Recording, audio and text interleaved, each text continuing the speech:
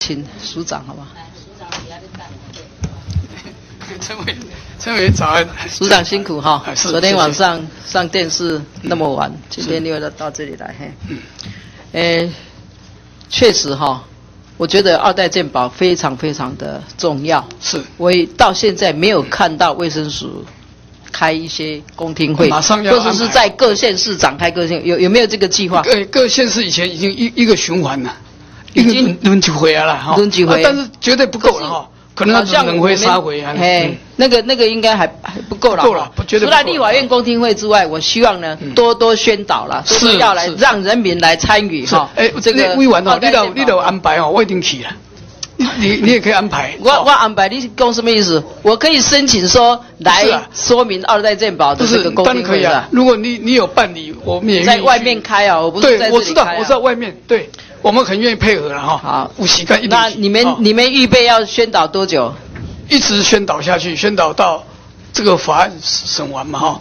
刚刚杨委员成不知道，杨委员在讲的那个哈，非常有那个那个维他命的事情，你们也要做教育了哈。是是那今天呢，当然啊，很肯定你们现在在在对医院的这种诈领健保费的问题了哈。可是我今天要来跟署长探讨的是控卡的问题。是控卡问题是对弱势的，对不对？对缴不起健保费的。对，那么，这个健保的价值在哪里？到底是社会保险，或者是使用者付费？哈，不是这个部分，我我想跟跟跟署长来探讨一下一下。之前哈，我我我先讲了哈，。是之前我们基隆的那个赖姓妇女，她现在虽然过世了哈，嗯。可是她是全家，因为全家依附在她的鉴宝底下。嗯。因为他们在九十年的时候，呃，有一个啊纳利风灾，那利风灾遭到那个房子家毁，呃家那个那个房子毁掉，那么就贷款哈、就没有能力来付这个鉴保费，一直滞纳金达到二十万哈，滞纳金达到二十万，所以造成说他现在他的子女，他的他的女儿要去看病，也是卡到这个滞纳金二十万的问题。嗯。那像这种问题哈、健保局好像也不闻不问哈、那这样子扣卡，你死去的细的基本上都细啊，那没没话讲。那那么你这些活的人还要看病呢，嗯造成他们这些子女都不敢去看病，原因在哪里？原因是你们健呃健保局，健保局说你要缴。啊，本来是啊多缴啊，你现在有判决嘛哈？有判决，行政处分判决了，有要要分期付款嘛哈？可是呢，他分期付款，他说你要缴到三分之一，二十万的三三分之一，我才给你开卡。哎，其实有这种情况啊，所以证明呢，为那个健保局在地方的分局的这些办事人员非常的刁民，导导致你现在这个是一个家庭，我我我现在举几个例子了哈。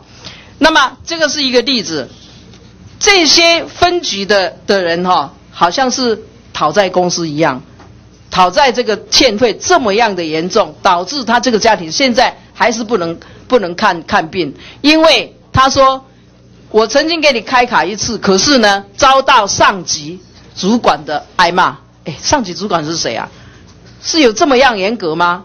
所以我我是觉得署长应该去管控的是这些分局的地家那个那个那个基层人员哈、这个是这个是一个一个例子了哈。那我那我我不晓得这个滞纳金高到这样子，那现在即使缴了要缴保费，还是没有办法控那个那个开卡，那叫这些小孩要怎么样何去何从？好，可不可以我报告一下啊？第一个基本的原则是这样，除非健保局能够证明他有能力缴钱哈，嗯不然的话就医无碍，我们可以尽量来宣导。对我我先讲完，我先讲完哈。好等我我我现在我现在还有例子我我们知道有人哦，我我知道有人哎有钱你不缴，那当然我们要去，不然的话大家都不缴嘛哈。所以如果这个人哦，嗯，这个没有缴钱，但是健保局不是吧现在好，现在这个问题哦，你卖公你保育给。现在问题是说他的滞纳金二十万很高的额度，对不对？啊，如他也没果有人办法恶意哈缴，。我知道，对不对如果这个是恶意不缴，当然我们要要催缴，对不对？没有错啊，不然的话大家都不缴了。第二个，我这个没有没有缴钱的人，一定要健保局证明说，哎，你有宰善，你就好呀，你不爱缴，不然的话，绝对就医无碍，绝对要让他就医。这个我们要强烈宣导。本来这个健保？你们要去了解问题在哪里啦。我现在问题是这样，所以我没有说我没有跟你讨论那么多也许我们辅导。不好，那我们健保局要要去加强。好，这个是一个例子啦哈。因为刚刚那个个案是这样，去处理这个个案是这样，那个个案是哦有钱，这个他有钱这个可以现在问题是是那些滞纳金二十万呢？你说这些小女生哪里哪来二十万去缴呢？哦对不对所以你们要去帮忙解决他的问题啦。我我不晓得这个仔仔细的问题，你们要去去处理哈。还有第二个例子嗯，现在宜兰县有十一所国小，嗯。九十一名学生嗯。都被锁卡。嗯。都被锁卡。那这个可能也是，比如说家长可能付不起嘛，哈、家长没有没有职业，嗯。那么家长就买成药，生了病就买成药给小孩吃，哈、那将来健保的负担会更严重是的。我是觉得这些这群小孩，我不不只是宜兰县呐，哈、嗯可能很多县市都是这样子，哈、那啊、宜兰县的那个林冲贤县长，哈、他。已经出面要处理这些锁卡的问题，可能他去募款来来帮忙这些血统，让血统呢能够来看病哈。这个是啊地方地方的问题，所以你现在欠欠鉴保费被锁卡，也是在供台湾哈、很多人，你们有没有统计这个数据？我我麻烦到底是多少报告一下，刚刚事情报告一下。包包委员，我先说明，如果是个案的哈，个案其实真的紧急就医那个都不是。不是啊，我现在那花金麦的猛力用有多少啊？你有没有这个数据啊？那个永远是动态的哈，永远是动态的。它它大约大约是多少？大约是所以多少？我真的很难去讲。很难，你们也不知。道，对不对所以每健保局只管收钱。包委，我们每一个盈利单位嘛，都会啊扫出来，他有欠费的，如果是中中低收入户的，我们都会主动移移给社政单位去现在中低收入那这个那个低收入那个都没有问题嘛，哈，身心障碍也没有问题啊。现在有问题的这是这这一群所以。他没，他不是中低收入都被户的，锁卡嘛我们就没有办法去证明说他是经济有困难。那另外一群人他是故意不缴钱的，我们把故意不缴钱的也不去追，那又是我们不对。不是我我跟你讲哈收入我们会，现在问题是这样，你家长因为他要负担很多，所以造成这些小孩没有办法去看病的这个部分呢，我觉得应该要要去想办法去处理啦哈现在六岁以下的我们一律不控卡。那现在是说我们在演你，如果教育小学生不是愿意帮忙6岁以下哦，小学生是要把他六岁到十二岁也这样做的话，简单的说就是我们要找到财源好，那那还有一个问题，这个是第二个问题哈，书定这第几个问题哈？第三个问题哈，因为都是我我在这个在我这边澄清的了哈。第三个问题，有一个老妇人，嗯。她是她是呃呃依着她的儿子在做做做保险，是。结果呢，儿子的工作呢现在是断断续续，嗯。导致他的妈妈也没有办法做，也没有办法鉴保，因为你们鉴保法第九条有写，你这个妇人要依附在他儿子底下是。可是呢，他本来本来是可以到区公所去，对不对？对去去保，可是因为他儿子后来跟他儿子一起保之后，现在要回去，因为他儿子有欠钱。对不对？嗯他断断续续，他当然欠钱，他没有缴健保费嘛，导致他妈妈呢有慢性病也没有办法看。像这种情况，真的是很多呢。那到底你二代健保有也有可能发生这种事情哦？那像这样子的话，你们觉得要怎么整？也是被锁卡，全部被锁卡说。明一下。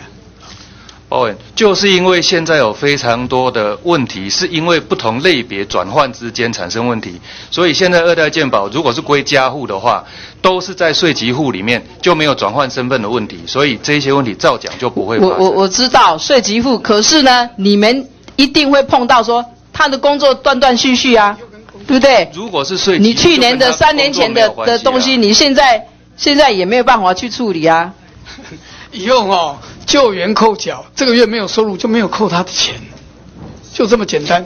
好，好，我现在啦，没有问题现在这个还要两年啦这个富人还要两年，那这个要怎么办？这个事情你们也呃我们可以去有现在有这种有没有办法处理每年哦，健保局不知道辅导多少，那有漏掉了，这是我们的责任。那我将来委员有遇到这种 case，就让我们知道。我的我我的 case 啊，啊我的 case 我只是啊挑这种不一样的 case 来跟你们我们已经很多讨很多去跟你们讨论了哈。那这个老妇人现在有慢性病哦，因为他依附在他儿子的名下，在在做鉴保，他自己要去居公所保也不行哎。可以他不行啊，包委员，这个就是他有欠费吧，所以不行啊，好，对不对这一？边如果有一个特例啊，哈，那我是不是请嗯同仁私下，我们赶快针对这个案子，我们去想办法，可以做什么帮忙，好不好？我们就啊，你们就说现在可能有很多这种这种情况了，哈、在在民间呐、我希望健保局是不是可以在每一个分局里头设像劳保局这样？劳保局现在有在做柜台的这个